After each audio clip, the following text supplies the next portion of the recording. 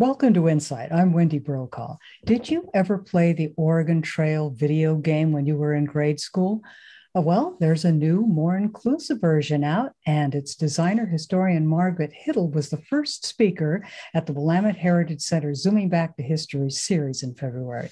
So many people showed up to hear what she had to say. What's the excitement? We're learning about that and what else in store for this spring series with the center's education manager, Josh Henderson. Tell us all about what happened in this wonderful Zoom meeting you had. So, like you mentioned, Dr. Margaret Huettl was absolutely fantastic, and she was delighted to share her experience working on this new version of the game. Um, she kind of was very candid with us about growing up um, playing the Oregon Trail game, as many Americans did, um, and both found it enjoyable, a fun experience to play the game, but often found that it disconnected with some of the history she was learning at home from her own native community. Um, so she went on and talked a little bit about how she helped populate the new version of the game with new native peoples and new native roles that they play in the game, as well as lent her perspective as a historian um, to making a more inclusive game for future generations of Americans. Did she have help with this? Tell us how that game evolved. So it sounded like from her presentation, she got uh, she was um, contacted by the game developers, Gameloft, which is a French-based video game company, um, and her and her and several other uh, native historians were were contacted, and they all got together and decided, you know, hey, we can remake this game that'll both be enjoyable. It'll still have a lot of the same elements that people have enjoyed for you know some 50 years what else did she say that took uh, people into this world that she's trying to make familiar to them, the ones of the peoples who were here and greeted the settlers? In the original version of the game, you know, native peoples were always that lingering um, group of people on the outside of the game that came along with other hazards like snake bites and dysentery.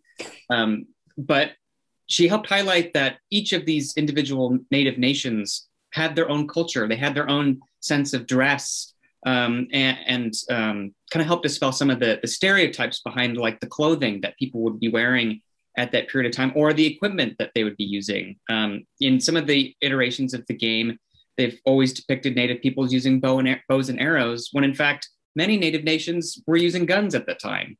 So, you know, it's she really helped highlight the historical accuracy of Native communities in the mid 1800s, early 1900s, um, and you know how different each of these cultures are across our our beautiful nation. The Oregon Trail stretched across the United States, the real Oregon Trail. And it was arduous, it was difficult. The pioneers who went on that trail uh, often didn't survive, and it had its own pitfalls. Tell us how the game was organized so that people could enjoy this journey and actually get to their destination in Oregon City. So that was a, a myth that actually she helped to dispel. Um, if I'm if I can remember right, you know, the the game when it was originally released in the 70s and early 80s kind of perpetuated this myth that it was hard to survive along the Oregon Trail. And although that, you know, life was difficult, um, I think if I remember right, she said only 6% of people um, actually perished on the Oregon Trail. Everybody else made it. So as difficult as the game is to survive, um, you know, people in real life, people in history, you know, really persevered on the trail um, and, and, eventually made it to, to Oregon. And we have many descendants here today that can trace their relatives back to the wagon trains.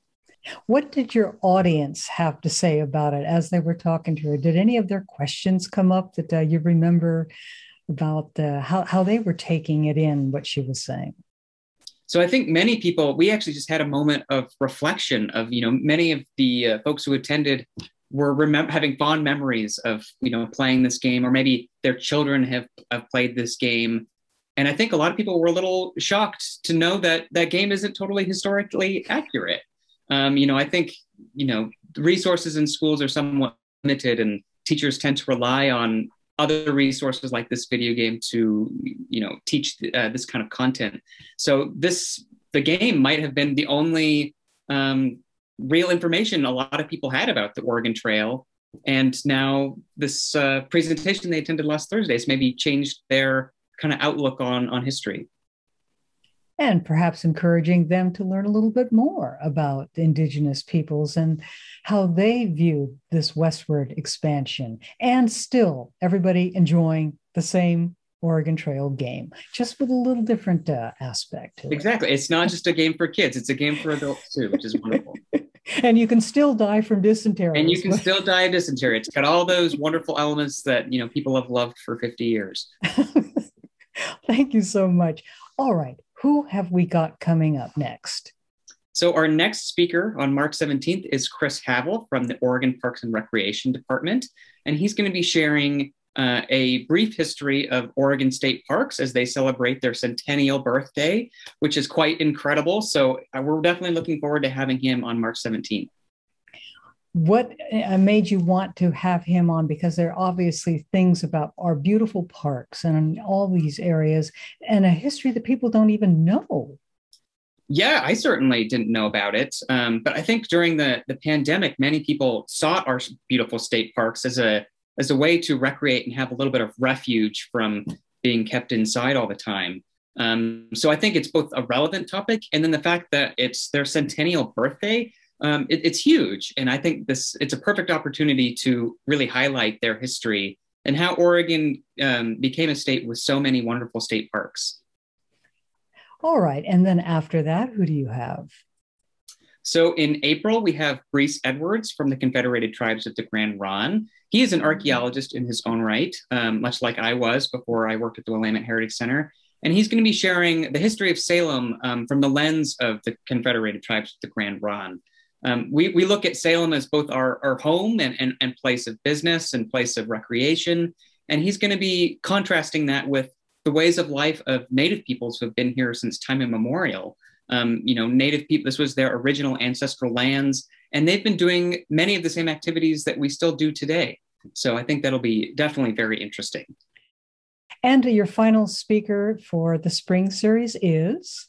So in May, we welcome uh, Dr. Russell Lowe, who is a physician, um, but also a historian who's going to be sharing a little bit about his family um, and his uncle Stanley, who served and was unfortunately lost during World War II. Um, but um, Dr. Lowe and his family are, are Chinese American, and he's going to be sharing a little bit about in the 1940s during a time um, when there was so much discrimination towards um, Asian Americans, how um, those members served in our uh, armed services and, and, helped protect our country during World War II, and how they weren't just serving as you know Chinese American, but they were serving as Americans with other uh, their American brothers that's one of the things you seem to be doing is bringing forward other people's other cultures experience of history and of life here in oregon. Exactly. I i see these not as you know common history topics that we would be learning in school but these stories of you know individual people um, doctor in this case it's, it's dr lowe's uncle who grew up in salem um, and, and you know highlighting these stories that really connect our community and our state together people could probably just get together and talk endlessly, going even more deeply into these topics.